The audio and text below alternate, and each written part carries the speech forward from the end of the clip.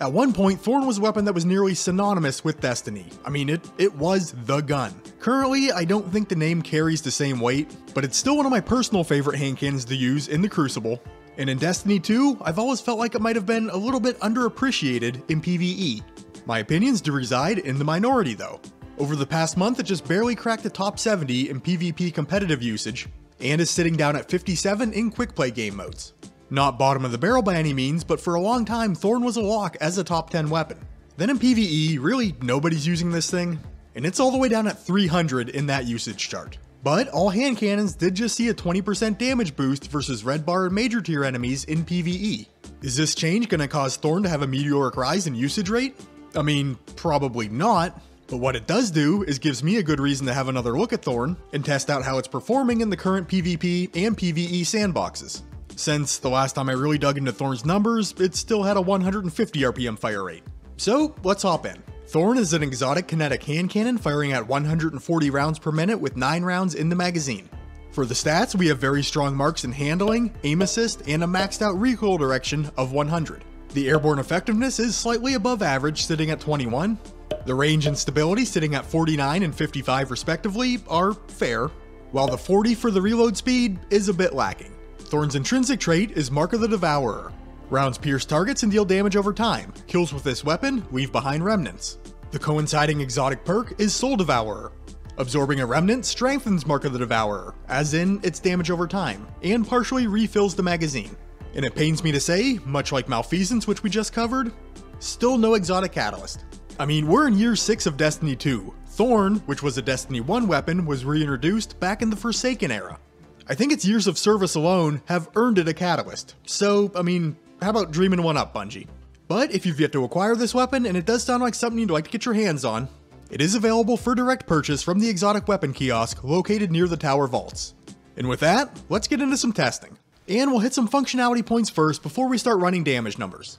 Each shot landed will be accompanied by four rapidly occurring poison ticks. And you don't have to worry about these ticks overlapping, they will not cancel each other out. Rounds fired from Thorn will also over-penetrate targets. So secondary enemies directly behind the initial target can be struck as well. On a secured kill, a remnant will drop, and it will track towards you as long as you're roughly 10 meters away from it. But they do have an expiration timer of 7.5 seconds, so collect them quick if you can. Once collected, the remnant grants the Soul Devourer buff for 7 seconds. When under the effect of the buff, additional remnants collected will add up to 7 seconds to the timer, but it does cap out at 10 seconds. On top of that, collecting a remnant will load up to 4 rounds back into the magazine, but it does not overflow the mag. You are capped at 9 rounds. And the main feature of Soul Devourer, you are going to get a substantial damage increase to those poison ticks, which we'll be measuring out in a few moments here. The base reload speed for Thorn clocks in at 2.9 seconds, and expect to see damage fall off past the 29 meter mark. And last point here, like Osteo Striga, Thorn does directly synergize with the Warlock Exotic Necrotic Grip. If the bullet damage from Thorn secures the kill, you will get the poison AoE blast provided by the exotic armor piece. But if an enemy dies out to Thorn's damage over time, it doesn't work. So it's a little wonky in that sense, but all in all, it is a great exotic pairing. With that, let's get on to the damage numbers, but a quick disclaimer first. PvE damage numbers are variable and will change depending on content scaling or enemy tier. I've moved away from using Karl the Colossus and will be testing in the Spire of the Watcher dungeon using the Akelous encounter in hopes to collect more accurate data versus a wider spectrum of enemies. So, versus Akelous, at base, Thorn scores 4,255 points of damage on a crit, and each shot results in 4 poison ticks rolling off at 489 apiece. So, accounting for 9 crits and 36 poison ticks, that totals out to 55,899 points of damage in a single magazine. I have the time to empty clocked in at 3.43 seconds, putting the single mag damage per second at 16,297. If under the effect of the Soul Devourer damage buff, bullet damage remains the same, but the poison ticks are now registering 1,465, basically tripling the damage of the base poison.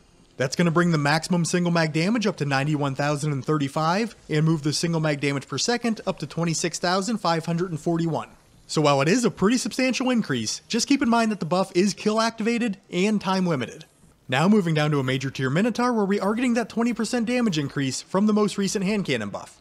Once the shield is knocked off, crits will deal 5,498 points of damage, with 631 coming from each poison tick. So versus an orange bar, that's a maximum of 72,198 for single mag damage and a DPS of 21,049.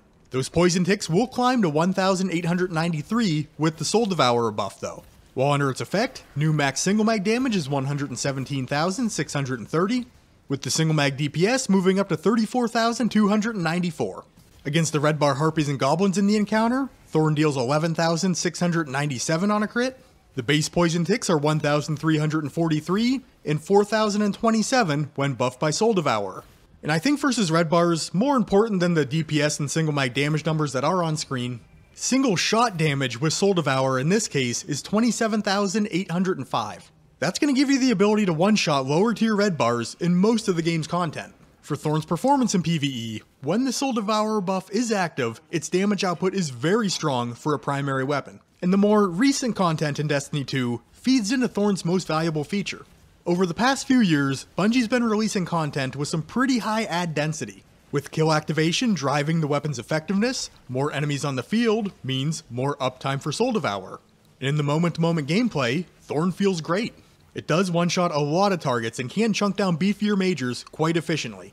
The bullets refunded on Remnant Collection do limit the need to physically reload the weapon, and the overpenetration of the rounds is a much appreciated touch when dealing with tightly grouped packs of ads. But Thorn doesn't come without its fair share of drawbacks in PvE. Without Soul Devourer active, we're not much better than a base 140 hand cannon. Yes, we do get a little extra base damage from the poison ticks, but it doesn't feel like enough to really make a huge impact on general gameplay. And Thorn's reliance on the buff seems to get exaggerated as content difficulty increases. I mean, in low to mid level content, Thorn can feel amazing. It's when you start poking into master or GM activities that flaws really begin to pop up. Thorn's not an extremely rangy weapon, and oftentimes the safest play is just to hang back and pick off enemies from a distance. And when you do secure a kill with it, you at least need to get into the Remnant's tracking radius to collect it. Breaking cover and running out into the fray in scaled up activities isn't always going to be a viable option. And with the buff only lasting for 7 seconds, if there's a lot of tanky targets on the field, you might not get as much mileage out of the boost. Then, there is no anti-champion utility built in, and here in Season 20, hand cannons are not supported in the seasonal artifact. I'm sure in future seasons they will be, but as of right now, there's just not a whole lot of incentive to even try to make it work in high-end content. And then, in general, crowd control really isn't this weapon's strong suit.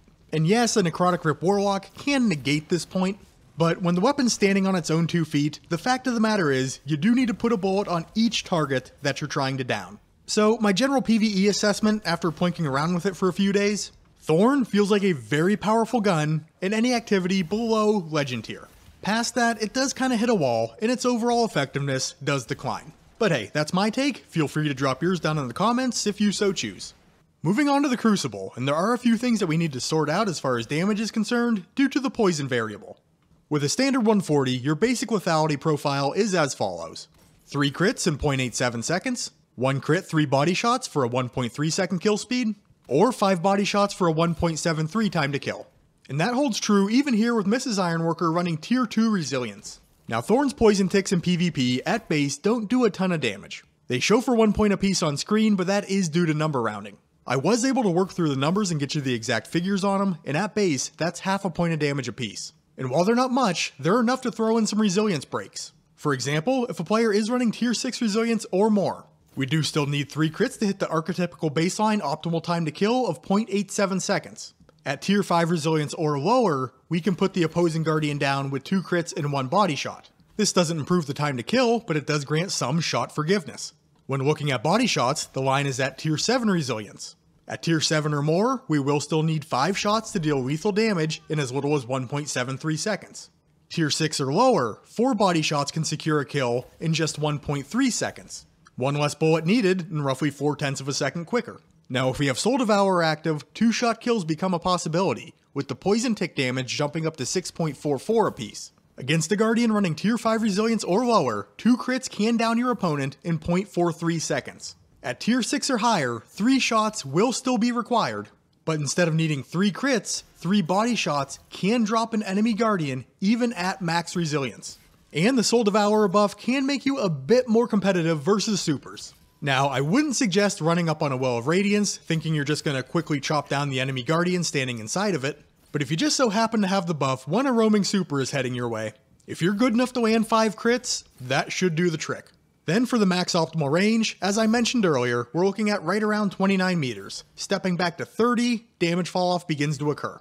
For the PvP performance, as I said in the intro, Thorn has always been one of my favorite hand cannons. It had been quite some time since I last played with it though. Fun fact, when you have a full-time job and try to keep up with a weapon review focused YouTube channel on the side, you might not get to play with your favorite guns very often.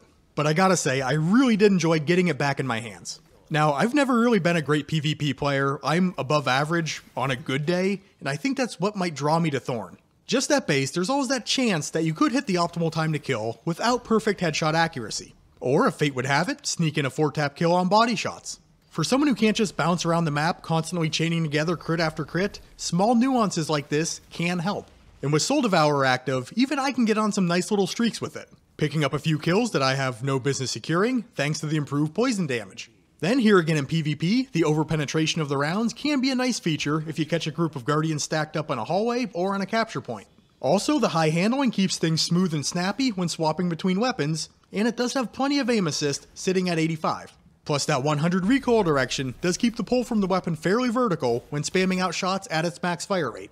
Drawbacks. It's not the Immortal SMG, which is currently mid Reign of Terror in the Crucible, so there's that. But with Thorn, that poison damage does take a little bit of time to tick out. I mean, they roll off fast, but that could leave your opponent just a brief window to either deploy some sort of healing that may negate a secured kill, or sneak one more shot in by the skin of their teeth, perhaps resulting in a kill trade. Then the range stat on the weapon isn't great, so not only does it experience damage fall off a touch sooner, but it also may not be as accurate as some of our more range heavy options. Then the sights on the weapon. I personally don't have a problem with them but I have talked to several players who just hate the look of what they see when aiming down sights with Thorn. If you fall into that category, I mean, it's definitely a drawback. Lastly, it just doesn't feel like we're in a hand cannon meta currently. Now, don't get me wrong, I think hand cannons are always going to be quite good in PvP, but in the limited time that I've spent in the Crucible this season, I've seen a lot of hyper aggressive play with SMGs and shotguns, and a fair bit of passive play with bows, scouts, pulses, and snipers kind of seems like those mid-range engagements aren't happening quite as frequently. And that is where hand cannons tend to thrive. And like I said, I haven't played a ton of PvP since Lightfall launched, so that's just kind of my small slice of the pie perspective. In my opinion though, I do think Thorn is a better weapon than its PvP usage rate would suggest. If you'd like to leave your take on the matter in the comments though, feel free. But that's about all I got for you in this one. Next video, hand cannon breakdowns will continue but the subject matter of that video gets to bring along a friend. So if you're not already subscribed to the channel and you want to be front and center for that one's release, you know what to do. If you did enjoy this one, please remember to leave it a like. You guys are awesome, and I will catch you on the next one.